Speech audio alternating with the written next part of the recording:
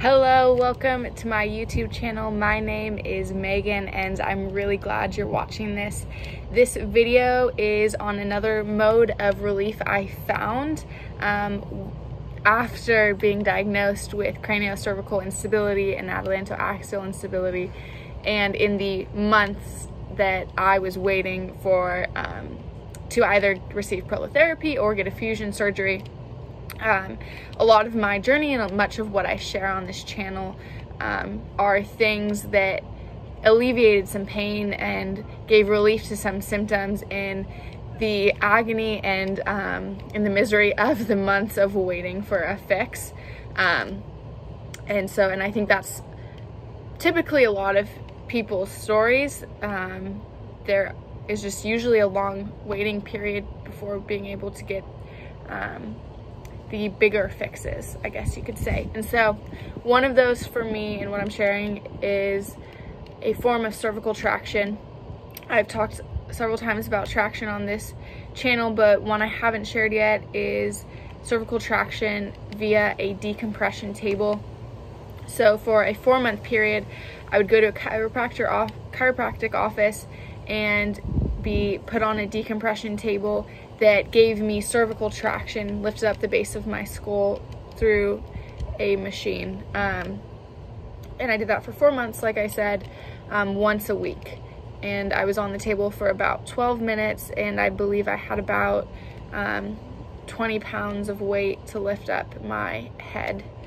Um, and so like always, um, I preface with I'm not a doctor. I'm not sure if this practice is safe for you um, or a good idea. So I would say um, take it up with your doctors and make a judgment call whether you think it's safe or not.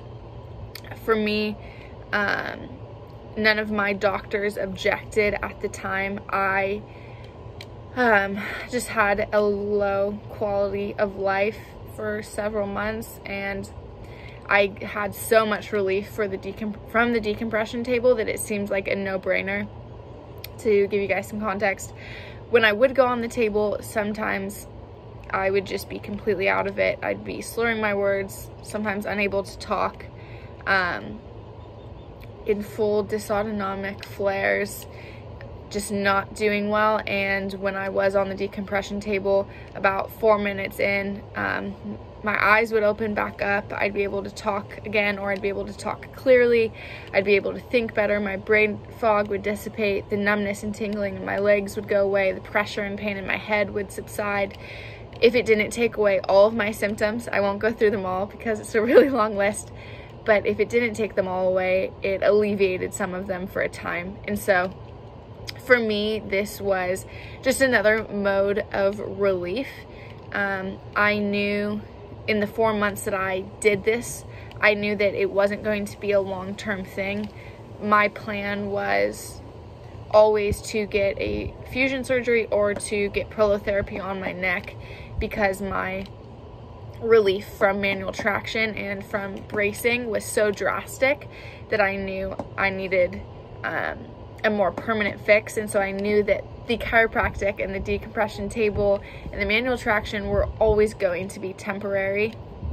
Um, but I would say like that took me a while to find. I figured that out through um, word of mouth through other people and I think um, that is how a lot of these things are figured out. Um, if you're lucky to find relief along the way, um, such as cervical traction and manual traction, what works, what doesn't, because this area um, and the just the medical conditions I have, I know at least, are um, under researched. There is just less knowledge about them uh, and it makes it really difficult to um, live a bearable life.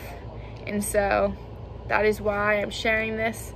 Um, it was a relief to me, and I hope that if you are in a similar boat and a decompression table is an option for you, I hope it might be relieving to you as well.